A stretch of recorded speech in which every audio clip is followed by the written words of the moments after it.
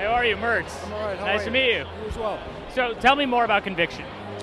Convictions, uh, investigative procedural, centers around a unit that looks into claims of wrongful incarceration.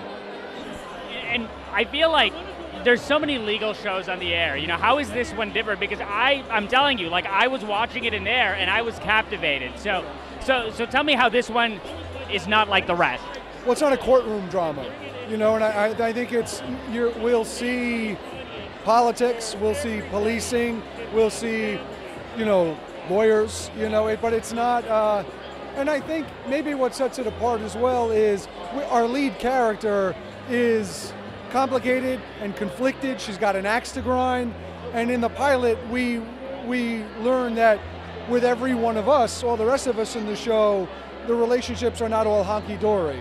You know what I mean? So there's tension there, which I think is compelling. You know, if we were a room full of people trying to please each other all the time, you know, then maybe not so much. Is it going to be serialized and episodic? Like, are we going to see different storylines in every episode? Well, I, the, the, as I understand it, each episode will have a case.